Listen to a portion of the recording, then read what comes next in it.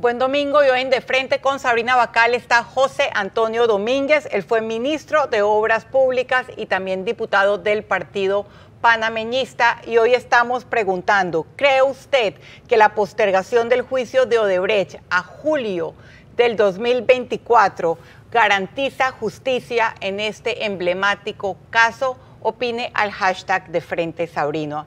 Bienvenido, José Antonio, a De Frente. Buenos días Sabrina, buenos días a todos los televidentes. Hoy es un día donde cerca de 1.500 convencionales de su partido, el Partido Panameñista, deben decidir si nominan, si, postulan al expresidente Juan Carlos Varela al cuestionado Parlacén, a pesar de la promesa que él hizo en 2018. Usted les ha pedido votar en contra. ¿Por qué? Bueno, simplemente no les he pedido votar en contra. Lo que he pedido es que no voten por él. Una cosa es votar en contra, otra cosa es que no voten por él. El señor Varela, eh, igual que el señor Martinelli, apostaron en su momento a que Odebrecht iba a seguir pasando agachado ante las justicias de todo el mundo. Y cuando se dieron cuenta que se habían equivocado y que atraparon a Odebrecht y empezó Odebrecht a cantar y a, exponer a todos los que habían participado con ellos, entonces empezaron a ver, a ver las cosas diferentes. Antes no pensaban en necesitar el, tener que participar de la cueva de ladrones como el señor Ricardo Martinelli lo llamó y el señor Varela también llamó al Parlacén, la cueva de ladrones. No esperaban necesitar de eso pero al ser denunciados, inclusive por el mismo Debrecht, no les queda de otra. O es eh, enfrentarme a la justicia como cualquier ciudadano o irme al Parlacén y tener mi respaldo legal, mi, escudo legal que me permite eh, postergar, dilatar y eh, eventualmente salir impune de cualquier hecho delictivo que hayan cometido. Y eso está mal. Si nosotros como panameños y los convencionales de nuestro partido criticaron cuando el señor Martinelli y sus hijos se iban al Parlacén por decir que eso era lo más eh, absurdo y que eso era ilegal y que eso no estaba bien, que moralmente estaba mal, ¿cómo ahora pretenden que el candidato, que es de su partido, sí pueda ir y se deba ver bien? Antes era malo e, para, los otros, ahora es bueno para los de ellos. No, eso no es así. Y yo creo que se equivocan los convencionales, por eso les he pedido que reaccionen. El ser convencional no les da una carta abierta, en blanco, para hacer lo que a ustedes les dé la gana. Ustedes están en la obligación moral de consultar con sus bases qué es lo que ellos quieren que usted, como representante de ellos, haga en esa convención. No es que ellos les endosaron un cheque en blanco cuando los eligieron. Eso no es así. Se equivocan. Porque si la mayoría de ellos están en desacuerdo con que ustedes le den el voto al señor Varela, mañana más nunca van a volver a ser eh, convencionales. Y otro error que ellos tienen es que por la pobre educación de la gran mayoría de ellos, se equivocan en cuanto a lo que es lealtad y lo que es complicidad y agradecimiento. Yo no tengo por qué agradecerle a ningún funcionario público porque haga su trabajo. Ese funcionario público se le paga con mis impuestos y con los tuyos y con los de todos los panameños. O sea que lo que haya hecho él o cualquier otro funcionario público lo ha hecho porque es su deber. Para eso se le paga. Si hizo una carretera en un lugar donde nunca se había construido, bueno, fantástico, apláudanlo, pero entre eso y irme de cómplice para encubrir algo, tratar de escaparse de la justicia, no me parece del todo correcto, es inmoral y eso le puede traer consecuencias funestas a la alianza que se acaba de organizar. No están midiendo las consecuencias a futuro que eso le pueda ocasionar. Hablemos de esas consecuencias a la alianza, porque, bueno, están las incongruencias de los dos expresidentes. Uno, Martinelli, llamó la cueva de ladrones y luego se fue corriendo a buscar refugio. Varela dijo textualmente, yo no tendría la autoridad moral para irme al Parlacén si firmé su salida. Y bueno, sin autoridad moral está postulándose para entrar. Y la alianza, conformada por Rómulo Rux y José Isabel Blandón, ha dicho que van a sacar a Panamá del Parlacén, pero efectivamente pueden terminar postulando, nominando a alguien como el expresidente Varela. ¿Qué daño le haría a esa alianza? Mucho daño, porque hay mucho pueblo, eh, hay muchos votantes independientes y partidistas que no están de acuerdo con eso. Y pueden castigar a la alianza no dándole el voto por el hecho de que no quieren respaldar a que a través de esa alianza se postule a una persona para el Parlacén que no debería ir. Eso lo tienen que entender los convencionales. Ellos no están ahí para defender a un amigo, ellos están ahí para proteger a un país. El deber de nosotros y sobre todo los políticos no es un deber con un partido, es un deber con el país. Si no pensamos en país y pensamos en nuestros intereses políticos y partidistas, estamos mal, estamos destinados al fracaso. Tiene que cambiar esa política y los que entren a servir al Estado tienen que ver todo en función de país. Si, es, si bien es cierto, yo como un, como un político hago un excelente trabajo en un puesto público y el partido también lo hace, eso nos da a nosotros mucho más chance de poder repetir en una próxima elección. Si lo hacemos mal, seguramente es un voto a castigo lo que vamos a recibir. Y es lo que tiene que entender el convencional en esta vuelta. Que no sea eso un motivo de que perdamos votos para las elecciones del 2024. Hay otras formas, si es que los electora, el electorado mira la reputación de algunas personas que acompañan a la alianza que podrían perder votos. Eh, Tito Afú, por ejemplo, o sea, la alianza tiene una narrativa y un discurso anticlientelista y anticorrupción y yo creo que para la mayoría de panameños es difícil olvidar a Tito Afú con el fajo de billetes. ¿Usted considera que, la alianza tiene la promesa correcta o que debería empezar a mirar quiénes son esas personas que, se están tomando la foto con los candidatos y que le hacen daño? Yo creo, y, y eso lo he venido discutiendo desde hace rato, esta es para mí la última oportunidad que tiene el país o sea, tenemos los políticos de recuperar Panamá por un medio pacífico. Si no lo hacemos en esta vuelta, prepárense porque posiblemente nos convirtamos en un segundo Venezuela muy rápidamente, o, peor aún, en un Nicaragua un eh, Cuba. Eso no es lo que quiero yo para Panamá. Yo creo que la mayoría de los panameños no quieren eso, pero si no hacemos lo correcto, estaremos propiciando a que eso suceda. ¿Cómo podemos evitarlo? trabajando unidos. Tú acabas de hacer una, una pregunta. El caso de personas particulares, tú mencionaste el nombre de Tito Afú. Si la mayoría de los electores no quieren a Tito muy fácil es sencillamente desviar el voto hacia otro candidato y lo eliminas.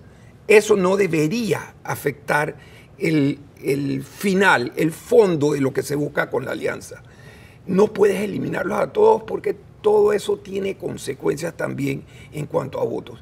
En esta vuelta tienes que ser muy cuidadoso cómo manejas eh, tus candidatos.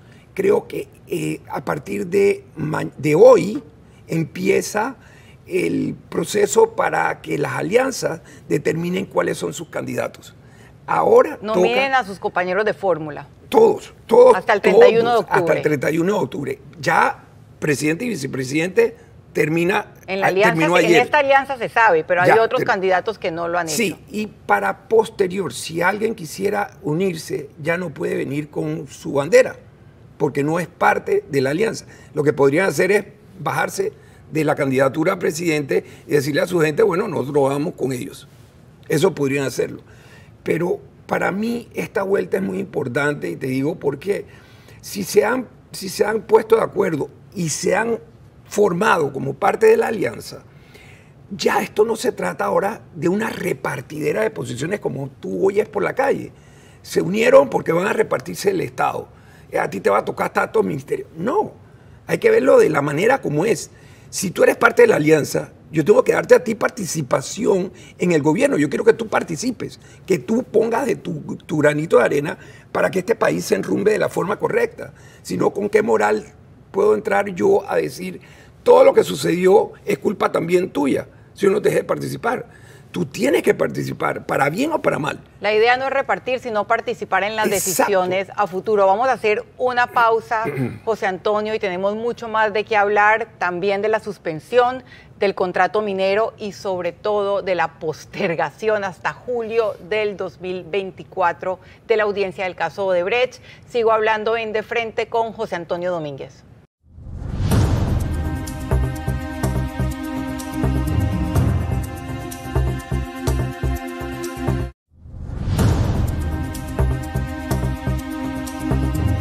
Sigo conversando en De Frente con José Antonio Domínguez. Hablábamos de la alianza entre Cambio Democrático y su partido, el Partido Panameñista. Hablábamos de las fortalezas, las debilidades.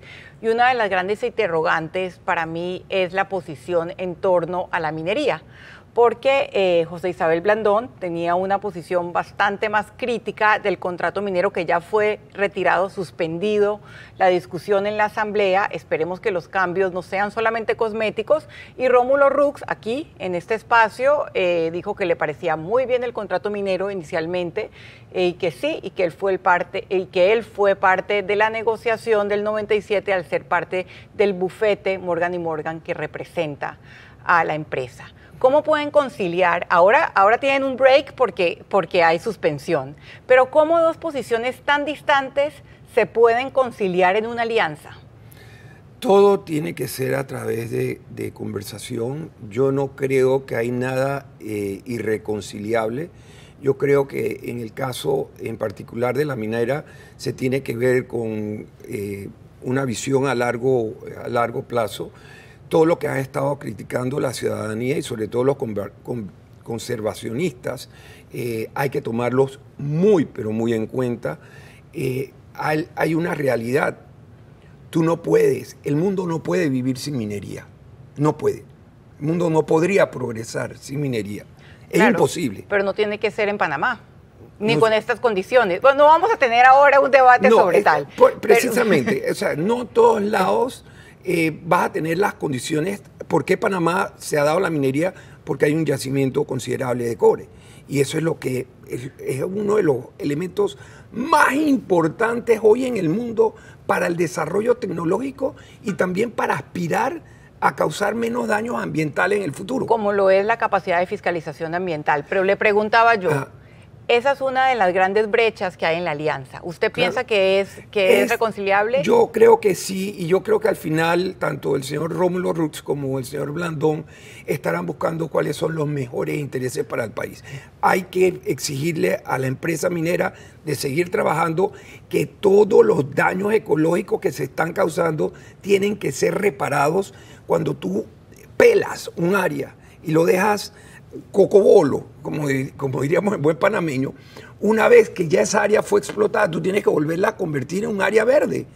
Aquí lo dejan para que la naturaleza se encargue con el tiempo. Eso no puede ser. Tenemos que actuar de forma rápida. ¿Y qué tiene que pasar en este momento? Porque para muchos la empresa sigue extrayendo los recursos del país sin contrato. Eso es importante que se vea. No podemos actuar eh, eh, en este momento sentimentalmente, tenemos que actuar inteligentemente. ¿Qué se nos permite hacer? ¿Qué podemos hacer? ¿Qué no le causaría un daño eh, sustancial en dinero en cuanto a demandas al Estado? ¿Cómo podemos manejar esa situación? Y cómo podemos obligar a esta empresa que a todas luces, cuando se dieron los contratos mineros, no se dieron con los mejores intereses para el país. En ningún momento. Nunca se pensó en Panamá. Se pensó el que estaba arriba en ver cómo yo sacaba algún provecho de dar esa concesión para que le explotara. No pensaron en Panamá, pero se les dio y se cometieron errores. Y si echamos para atrás, muchos otros errores tendríamos que sacarlos a flote. El puente Van Damme, mira, aquí pasaríamos días discutiendo de horrores cometidos en el pasado por mandatarios.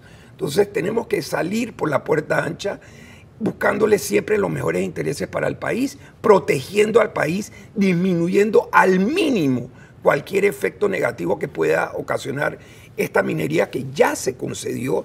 ¿Cómo podemos pararla? Hay, hay criterios, hay unos que dicen que por el hecho de ya haber sido declarada inconstitucional, el contrato quedó nulo, podemos decirle, lárguense, váyanse para su casa y nadie pierde nada. Hay otro que dice, eso no es así, aquí entraríamos en polémicas y al final el plato roto lo paga todos los panameños. Y tenemos que tener mucho cuidado con eso. Yo creo que es reconciliable, hay que buscar los mejores intereses para el país y siempre protegiendo las condiciones eh, ecológicas para todos. Hablemos del caso de Brecht. ¿Qué mensaje considera usted? Ya estábamos tarde en la justicia comparado con otros países de la región y comparado con las declaraciones explosivas desde el 2014 del mismo Marcelo Debrecht.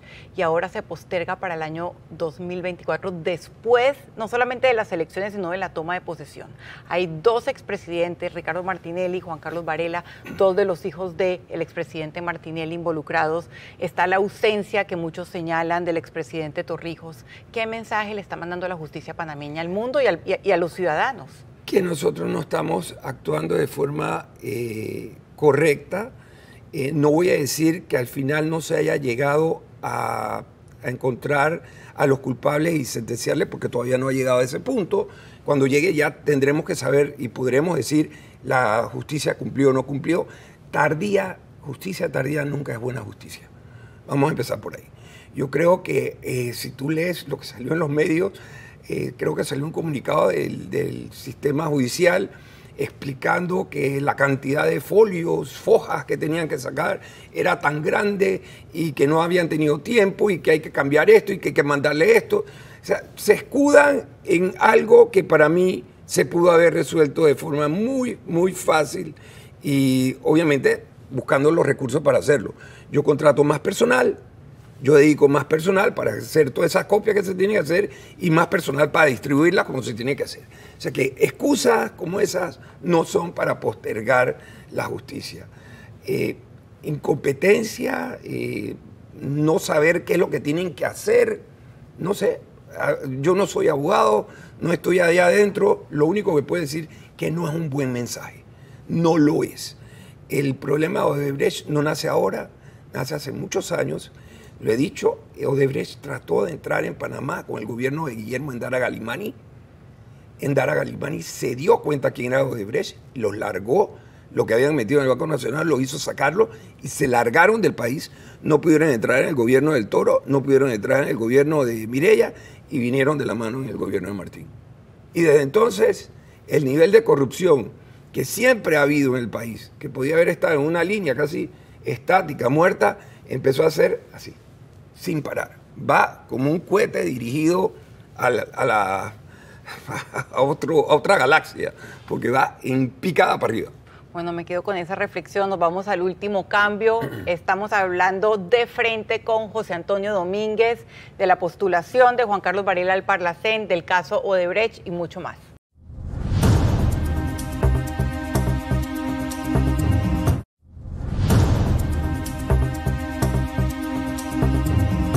Hablando en De Frente con José Antonio Domínguez de varios de los temas de la semana.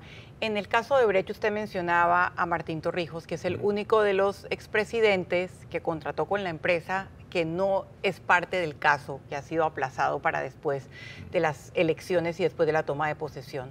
¿Qué explicación le da usted a eso?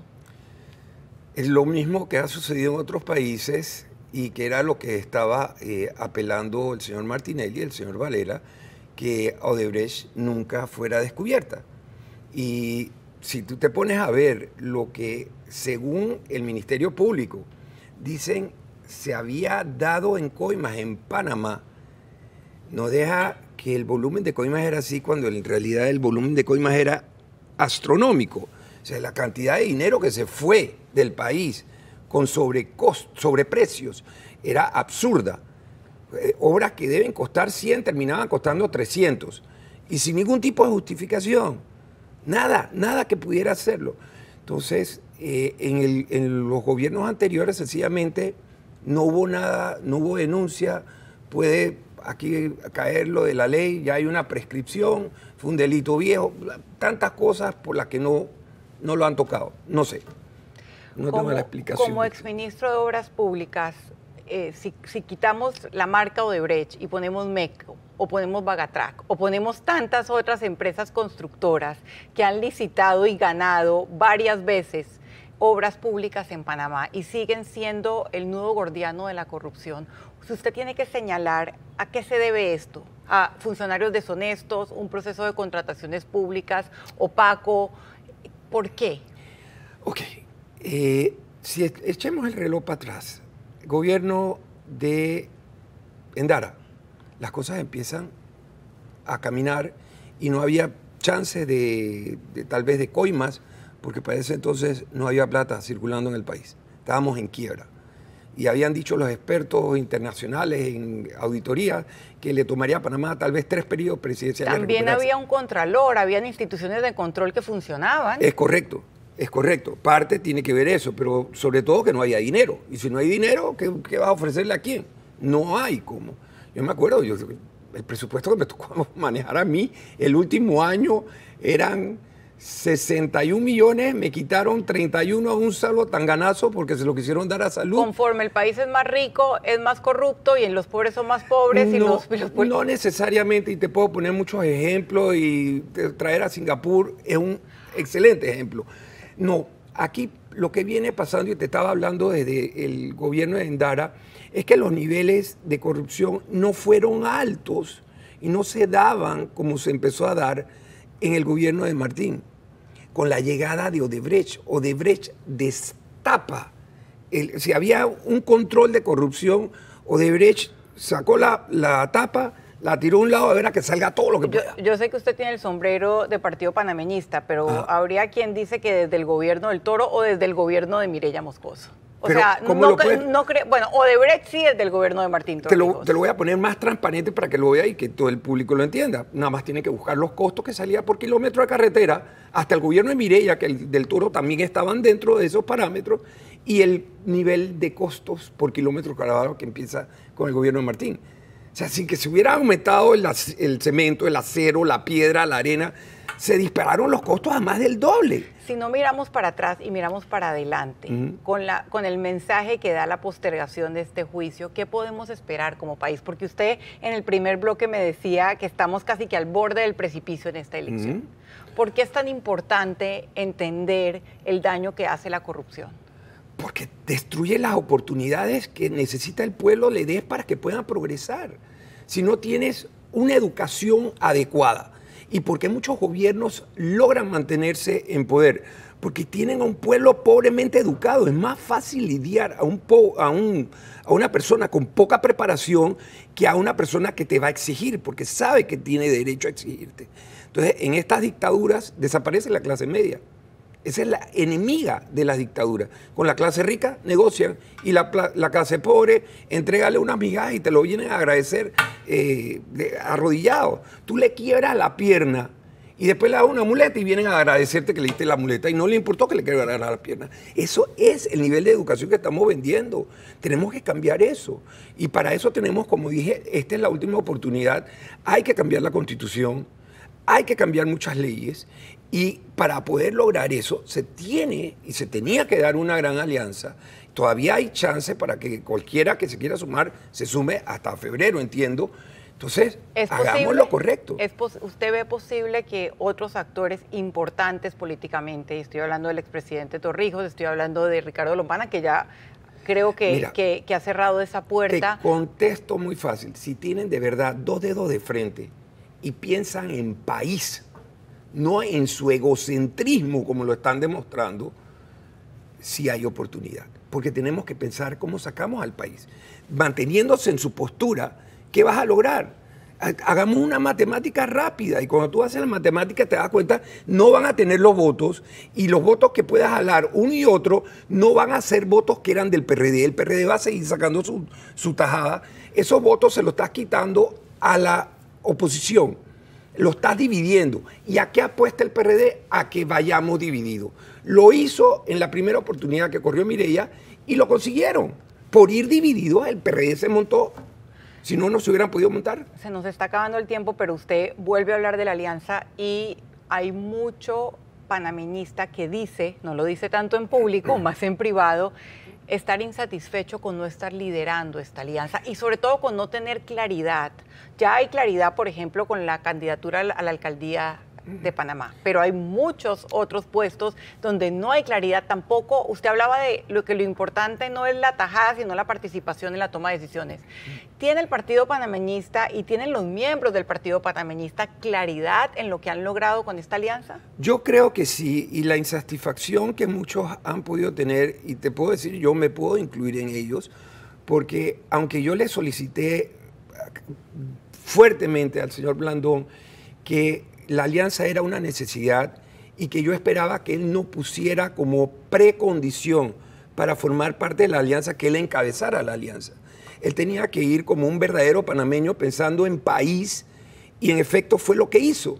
Él entró y dijo, yo pongo primero a Panamá por delante, mis intereses, mis aspiraciones quedan atrás. Y fue el que decidió bajarse yo pienso que es una persona preparada, una persona que pudo haber ocupado perfectamente el liderazgo de la, de la alianza, pero le agradezco que haya hecho lo correcto, lo que consideró él correcto, por el bien de Panamá. Y así tenemos que pensar. Hay que pensar en el bien del país. Si no pensamos en el bien del país, pensamos en qué es lo que nos va a tocar a nosotros. Como partido estamos destinados, como te dije, al fracaso. Eso no nos va a llevar a ningún buen final el, panameñista, igual que el miembro del CD, tiene que pensar ahora a quiénes vamos a nombrar en los cargos públicos. No podemos nombrar solamente a los miembros del partido o a las personas que son amiguitas de los que están arriba. Tenemos que empezar a nombrar a gente preparada, gente que tenga la capacidad para hacer el trabajo como se necesita se haga. No que me aparezca un contralor que se tapa un ojo, se tapa el otro, se tapa la oreja, la boca y aquí no ha pasado nada. Se llevaron la mitad de los fondos del país y el país está volando. Aquí no se ha perdido ni un centavo. Eso no lo podemos volver a permitir. Hay que hacer las cosas que el país necesita y para eso se necesitan los cambios y que el pueblo se una se una para conseguir esos cambios. Bueno, muchísimas gracias por hablar aquí en De Frente. A usted también gracias por acompañarnos. Los espero aquí el próximo domingo.